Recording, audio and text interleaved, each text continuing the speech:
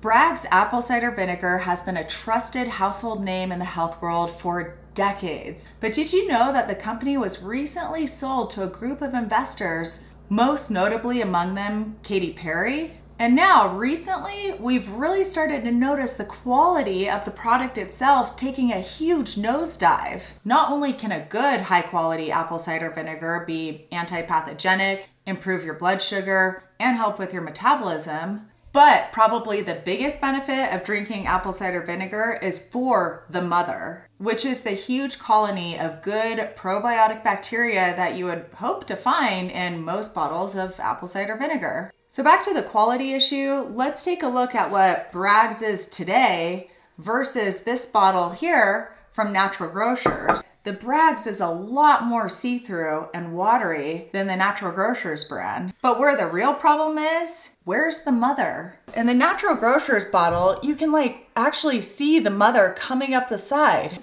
Now take a look at the Bragg's bottle.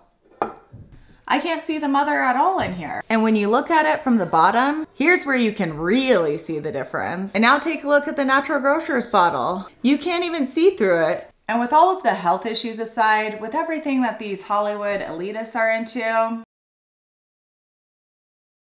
we're not touching this stuff anymore.